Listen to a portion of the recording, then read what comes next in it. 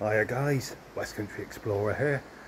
Now I'm back at Tonedale Mills in Wellington because what happened was that after I my last visit, not about a day or two after, I spotted somebody had done a report on their their visit to Tonedale Mill. They'd put it on a Urbex site that I go on every now and again and they explored a part of the mill that I hadn't gone to in my visit. So I thought, right, I've got to come back and try and find this place. It's a boiler room area. So I've done a trip back to Tonedale Mill to see if I can find the boiler room area, guys. So let's see what I can find. Now, last time when I came here, I didn't go over to that side. And I think that's possibly where the boiler room and all that is. So what I'm going to do is,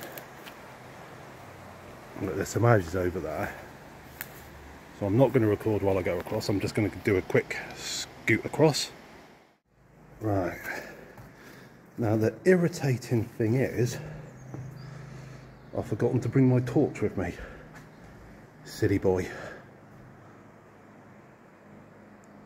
So, Blinking. Already the birds are scaring me. Right, okay. There's a... Uh, can't get that way far.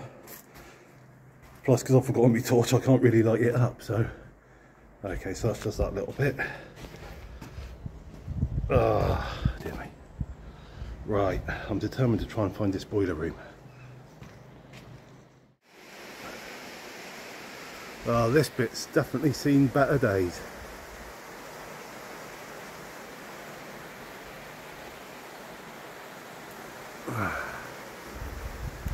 Mind you, the old sightseeing better days, so...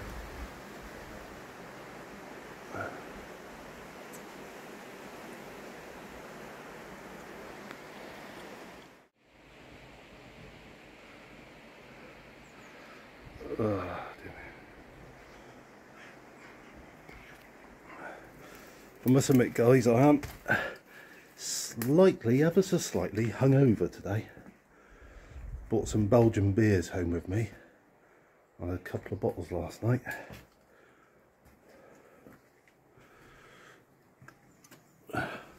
Whoa, hello. Look at that, yes.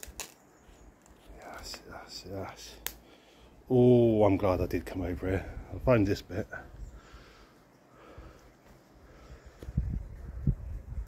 Yes. Right, look at that. Oh, that is nice. It's definitely worth it just to see this bit, I think. Hopefully I'll find more.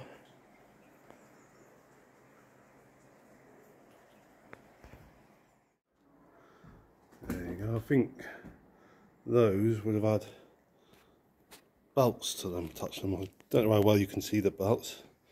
Like I'm kicking myself for forgetting me camp with me torch, so.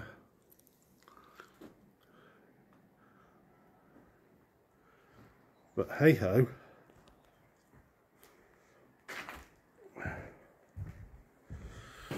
Right then, back down these steps and carry on having a little look around.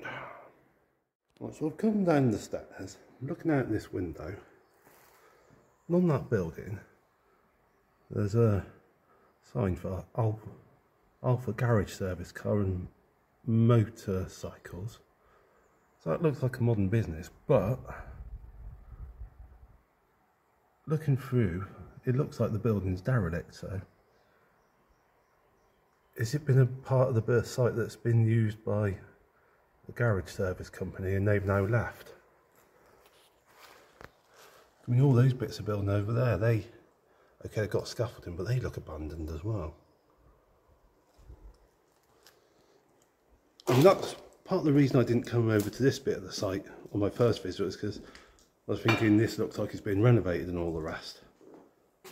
So, but I don't know. I don't know what's going on.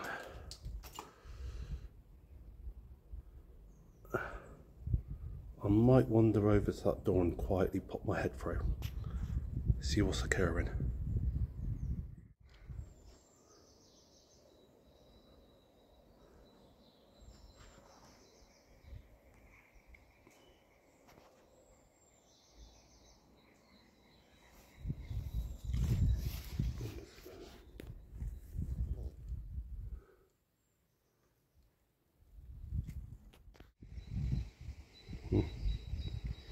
I don't know.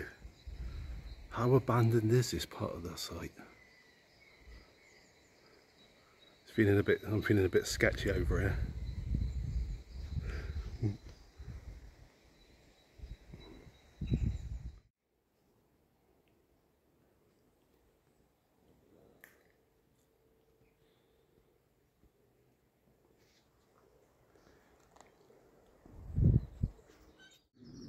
Well I bottled out of exploring that part of the site. I just started to get uh, really nervous.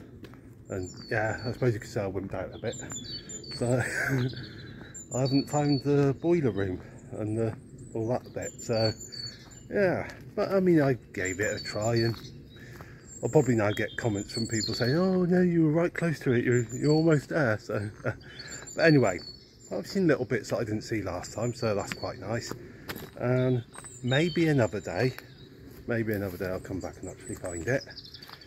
But what I'm going to do now is I'm going to stop off at Taunton because there's a pin in Taunton that I want to check out. So yeah. So keep your eyes open for that video. And thank you for watching this one. Hope you've enjoyed. And I'll see you in the next one. And in the meantime the usual stay safe take care God bless